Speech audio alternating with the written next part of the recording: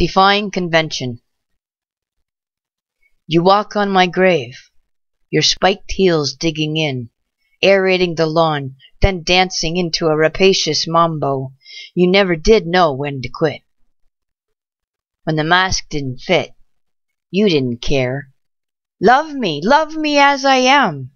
You laughed and lifted butterfly wings to a sky too bright for me to follow you, even through a single thinly slit eyelid.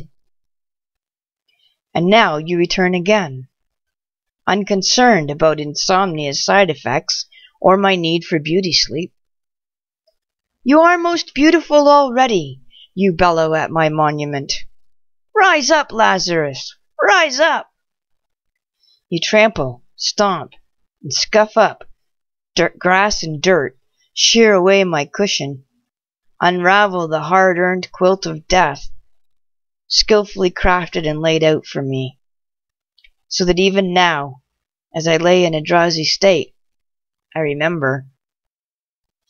Graveyards were always too concrete to scare you, and sunlight, your keeper, always emanated from your dark pupils to mystically light the moonless night. I opened my eyes when you opened my casket. I ask myself, why? Why could you always count on me to come back at your bidding?